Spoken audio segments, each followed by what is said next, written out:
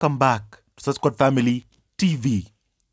And on the latest news, Prince Harry says Megxit is a misogynistic term aimed at his wife, Meghan. I'm finally grateful for Prince Harry addressing this.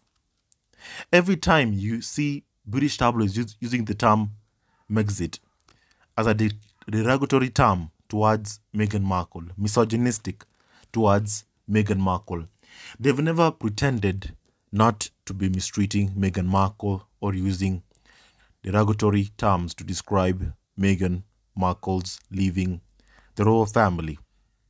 This term, Megxit, is a misogynistic term aimed at his wife Meghan. The Duke of Sussex, Prince Harry, says the term was created by a troll to describe their decision to quit royal duties, which was then amplified by the British tabloids.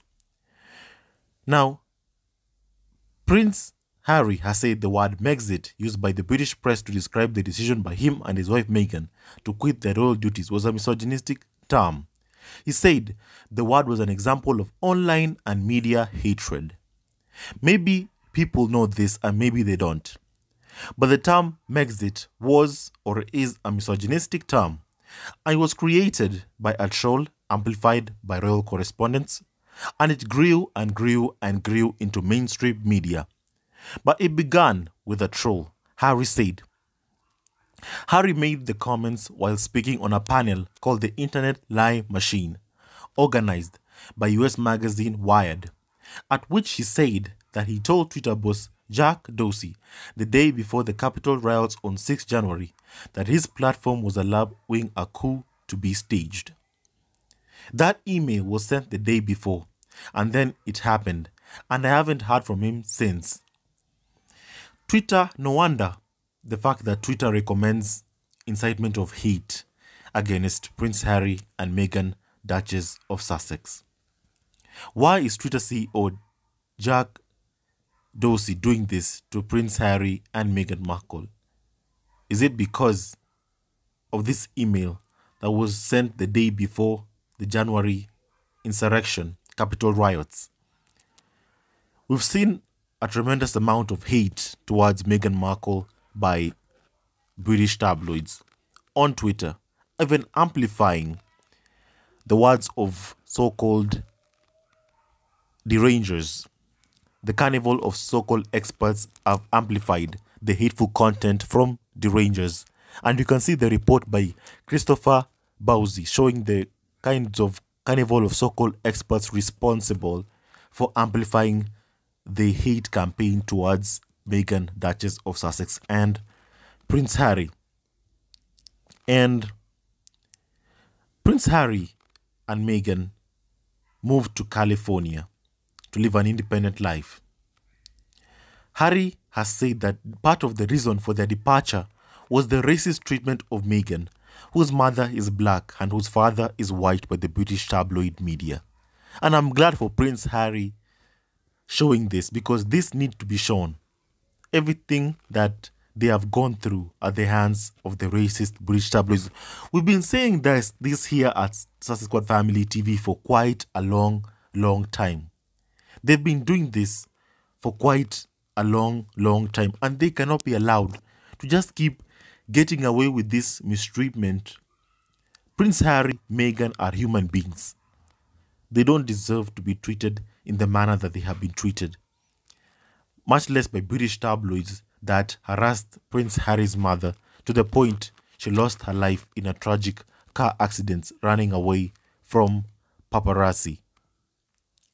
Now, a study released in October by social media analytics service Bot Sentinel identified 83 accounts on Twitter that it said were responsible for 70% of the hateful content. I repeat, hateful content and misinformation aimed at Meghan and Harry. Now, referring to the study, Harry said on Tuesday that perhaps the most disturbing part of this was the number of British journalists who were interacting with them and amplifying the lies. By the by the rejected the lies, these lies as truth. This carnival of so-called experts that you've seen in the report are the ones amplifying these lies against Prince Harry and Duchess Meghan. They've been doing this for quite a long, long time. They avoid this hate campaign because they have never been able to stand the fact that their white prince, Prince Harry, fell in love with a mixed race woman. They've never been able to tolerate it. Never. Prince Harry loves his wife, and Prince Harry is the husband that Princess Diana did not have. And Princess Diana deserved. Now, Harry and Meghan have since campaigned against social media negativity they say is affecting people's mental health. Meghan Markle herself has gone on an interview with New York's DealBook with Andrew Sorkin and said that there needs to be a disclaimer. British tabloids are toxic. They affect your mental health. There needs to be that kind of disclaimer as what happens with disclaimers on cigarettes. It needs to happen. We deserve this. This needs to happen and it needs to happen now. On Tuesday, Harry called misinformation a global humanitarian crisis.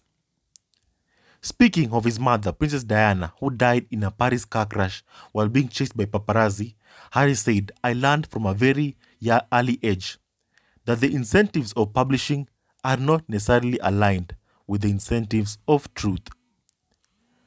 I know the story all too well. I lost my mother to this self manufactured rabidness. And obviously, I'm determined not to lose the mother of my children to the same thing. Now, that is Prince Harry, Duke of Sussex. I know the story. He knows what they do. We know what they do. We members of the Squad Family TV, we know what they do. Prince Harry lost his mother to this self manufactured rabidness. And obviously, I'm determined not to lose the mother to my children to the same thing. And he had to take his wife and child far, far away from these kinds of racism from the British tabloid, which are amplified by the so called carnival of so called experts. And Twitter endorses these kinds of behavior. They do this. No wonder hate accounts towards Prince Harry and Meghan are currently present. When you hear this private conversation between Twitter CEO Jack Dorsey and Prince Harry on January 6th insurrection, and Prince Harry has never heard of him ever since after what happened in the Capitol riots, you clearly see what Twitter does.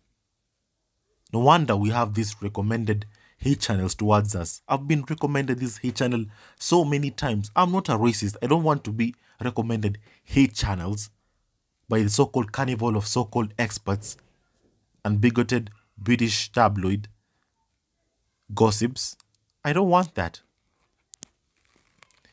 And I'm so thankful that Meghan Markle has an amazing husband by the name Prince Harry, who loves her so much enough to protect his wife, son, and daughter from the British tabloids and the firm. Because make no mistake, the leaks, the everything that Meghan Markle has had to experience come and arise directly from the firm and the British tabloids. They've done this to them. I was saying this today actually, I was tweeting and saying British tabloids, after inciting hate towards Meghan, Duchess of Sussex, after doing all that, they campaigned, actively went on national TV to say that Meghan Markle and Prince Harry should strip to be stripped of their security. And they were by the royal family after they had incited hate against them. First of all, they, th- they incite hate against you. Then they take away your security after doing that to you. Now, Meghan Markle didn't have much security long before she joined the royal family. She didn't need it. I think Prince Harry, if he, if he was working even before meeting Meghan Markle, he wasn't working with too much security. Right? But now there's a necessity for them to have so much security. There's a necessity for them to have so much security because of what the British tabloids have done to them. And I, as a member of the squad, will continue defending Prince Harry, protecting them from what I have seen happening to them on Twitter, on social media sites, from the British tabloids. And as Meghan Markle said, don't read the British tabloids. Don't don't do that. It's toxic to your mental health. And I can honestly say it has bothered me a lot what Meghan Markle has had to endure. The things I have seen. Human beings are not treated the way Meghan Markle, that is, has been treated. And that's why I even opened this YouTube channel to show support to Meghan after everything that she has been through. And I'm glad that right now, Meghan Markle is in a perfect mental headspace, as she said in the interview with Andrew Sorkin for New York Times. I'm glad to hear that. Living a toxic environment does wonders for you, clearly. Thank you so much, Meghan Markle. Thank you so much all for tuning in. Stay tuned for our next video. Don't forget to hit the like and subscribe button and leave a comment below. With so much love from Squad Family TV.